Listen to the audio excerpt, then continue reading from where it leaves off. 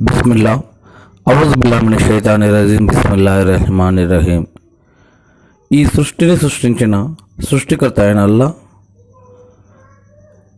ఈ యొక్క మానవుడిలో రెండు రకాల ఆలోచనలు కలిగించగల ధోరణి తోడటువంటి ఉన్న మానవుడిని సృష్టించాడు. ఆ రెండు రకాల ఆలోచనలు ఏమిటంటే ఒకటి ఒకదానిని అవస్య అంటాం రెండవ దానిని అనావస్య అంటాం. మంచి ఆలోచనలు దేవుడి యొక్క ప్రేరణ ద్వారా ఆయన యొక్క శక్తి ద్వారా కలుగుతూ ఉంటాయి. ఇక రెండవది చెడు ఆలోచనలు. అవి చెడు ఆ- చెడు కోరికలు కానీ చెడు ఆలోచనలు కానీ ఇవి సైతాను యొక్క వస్వస ద్వారా యొక్క మానవ మదిలో కలుగుతూ ఉంటాయి. ఈ రెండు వీటిని రెండు రకాలు అంటే ఒకటి అవశ్య రెండు అనావశ్యగా ఖురాన్ మరియు హదీసుల్లో వీటి గురించిన ఆధారాలు ఉన్నాయి. అవశ్య అంటే హృదయంలో జనించే చెడు ఆలోచనలు ప్రేరణలు ఇవి క్షమించబడతాయి. అంటే ఒక మనిషికి ఒక చెడు ఆలోచన వస్తే ఆ యొక్క ఆలోచనని దేవుడు క్షమిస్తాడు. ఆ చెడు కోరికను కూడా దేవుడు తలిస్తే క్షమిస్తాడు. కానీ రెండో విషయం ఏంటంటే అనావశ్య. అంటే చెడు ఆలోచనలు ఏవైతే వచ్చాయో చెడు కోరికలు ఏవైతే వచ్చాయో వాటిని ఆచరించటం. ఈ ఆచరణ అనేది ఎప్పుడు మనసులో మధ్యలో కోరిక కలగటం అనేది సహజం. ఈ యొక్క సైతాన్ వస్తు సాధార ప్రభావం ద్వారా జరుగుతూ ఉంటుంది. కానీ దానిని ఆచరణలో పెట్టడమే పాపం.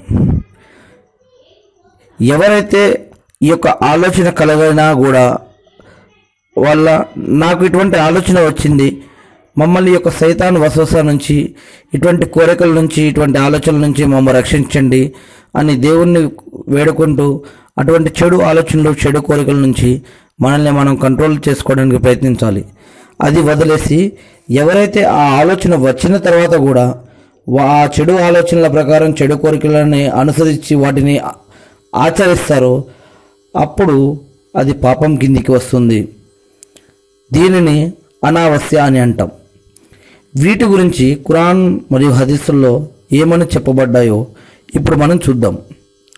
ఖురాన్లో రెండవ సూర సూర అల్ బక్రాలోని రెండు వందల ఎనభై నాలుగు వాక్యంలో అల్లా ఏమని చెప్తున్నాడు అంటే మీరు మీ మనస్సులలో ఉన్నది బయటకు చెప్పినా లేక దాచినా కూడా అల్లా మీ నుంచి దాని యొక్క లెక్క తీసుకుంటాడు.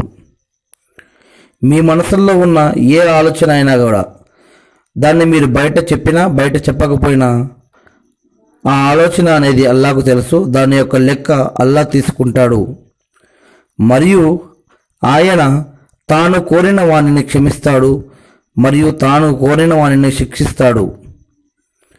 మరియు అల్లా ప్రతిదీ చేయగల సమర్థుడు అని ఈ యొక్క ఖురాన్లోని సుర అల్ బక్రా రెండవ సురాలోని రెండు వందల ఎనభై నాలుగు వాక్యంలో చెప్పబడుతూ ఉంది.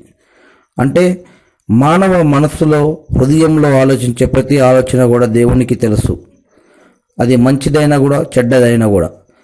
ఆలోచన కలగటం అనేది సహజం కలగవచ్చు. కానీ దానిని ఆచరణలో పెట్టేటప్పుడే ఇది మంచిదా చెడ్డదా పాపమా పుణ్యమా హరామా అలాలా అనేది ఆలోచించి మనం చేయొచ్చా చేయకూడదా అనేది ఒక్కసారి ఆలో ఆ పని చేసే ముందు మనం ఆలోచించుకోవాల్సి నా అవసరం ఉందని ఈ యొక్క వాక్యాల ద్వారా తెలుస్తూ ఉంది. ఇంకా మరికొందరు ఈ యొక్క ఆదేశం రద్దయిందని భావిస్తారు. ఈ విషయం గురించి చూస్తే ప్రవక్త ముహమ్మద్ సల్లల్లాహు అలస్లం గారి యొక్క వాక్యం ఏమిటంటే అల్లా ఆదేశం నా దాసుడు చెడును గురించి ఆలోచిస్తే అతను దాన్ని చెయ్యనంత వరకు వ్రాయకండి. ఒకవేళ చేసి వేస్తే ఒక పాపం రాయండి అదే మంచిని గురించి సంకల్పిస్తే ఒక పుణ్యం రాసుకోండి దాన్ని చేసేస్తే పది పుణ్యాలు రాసుకోండి అని దైవదూతలకు అల్లా ఆజ్ఞాపించాడని ప్రవక్త మొహమ్మద్ సస్లం గారు చెప్పారని ఇది ఇమాం ముస్లిం గారి యొక్క గ్రంథంలో రాయబడి ఉంది. అంటే మనిషి చెడు ఆలోచన చేస్తే ఆ ఆలోచన గురించిన పాపాన్ని రాయవద్దు. ఒకవేళ ఆ మనిషి ఆ ఆలోచన కనుక అమలు చేస్తే ఆ చెడు ఆలోచన కనుక అమలు చేస్తే అప్పుడు మీరు పాపం రాయండి అని ఆ పాపాన్ని నమోదించండి రాయండి అని దేవదూతలకి దేవుడు ఆజ్ఞాపించాడు. అదే మంచి విషయం అయితే గనక ఆ ఆలోచన ఆలోచనందు ఆలోచించినందుకు ఆ ఒక పుణ్యం ఆ ఆలోచనని మంచి ఆలోచనని అమలు చేసినందుకు పది పుణ్యాలు రాయమని ఈ యొక్క హదీసులో చెప్పినట్లుగా ఈ ఈ యొక్క హదీస్ ద్వారా తెలుస్తూ ఉంది.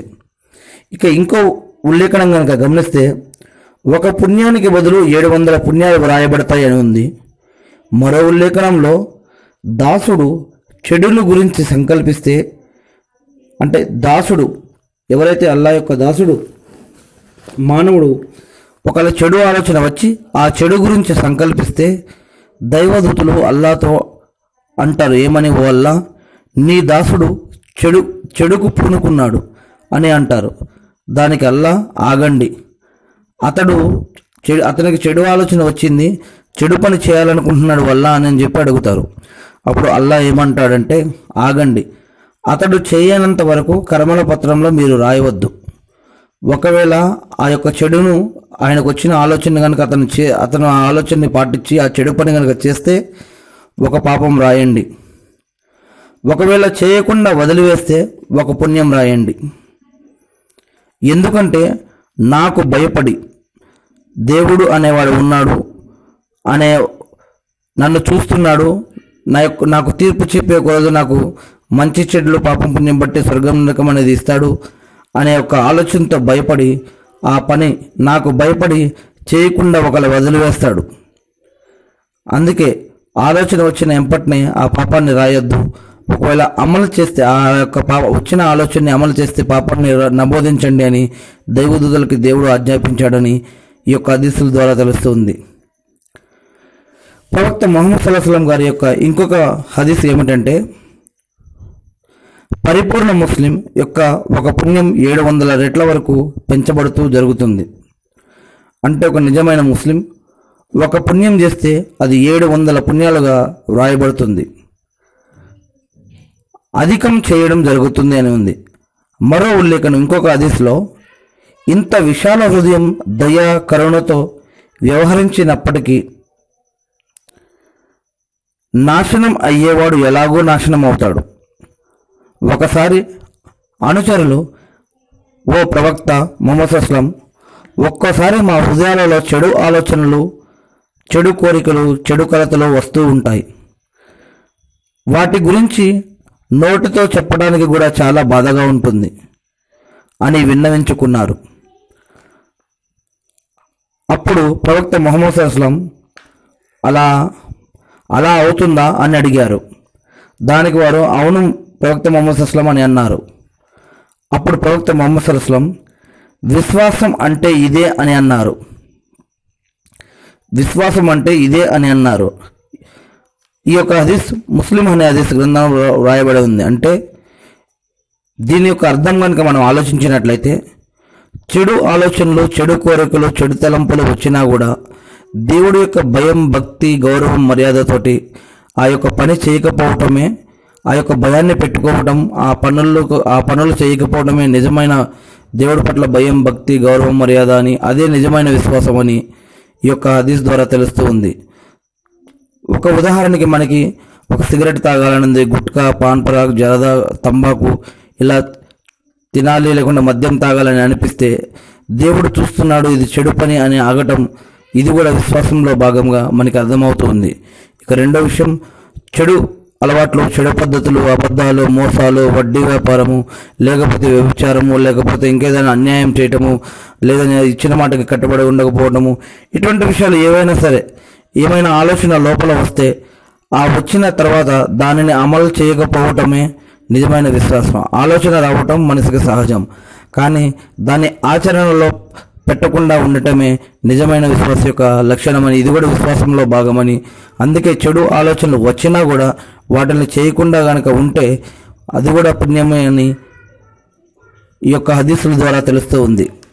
ఇక ఇబ్నే అబ్బాస్ రజల్లా గారు ఈ వాక్యం రద్దు కాలేదు అని ఇంకొక వాక్యం చెప్తుంది. ఏదైతే అంటే తీర్పు దినం నాడు అల్లా మానవులందరినీ ఒకచోట చేరవేసి ఈరోజు నేను మీ హృదయాల రహస్యాలను గురించి తెలియపరుస్తాను.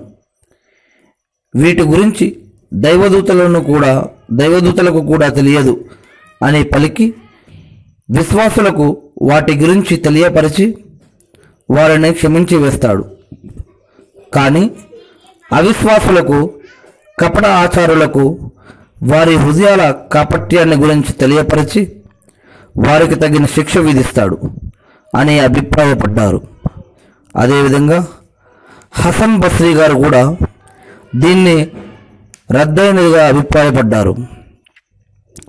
ఇబ్నే జరీర్ అభిప్రాయం కూడా ఇదే. అతను అంటారు లెక్క తీసుకోవటం వేరు శిక్షించటం వేరు. లెక్క తీసుకోవడానికి పాపం చేయటం తప్పనిసరి కాదు. విచారణ తర్వాత క్షమించడం జరగవచ్చు.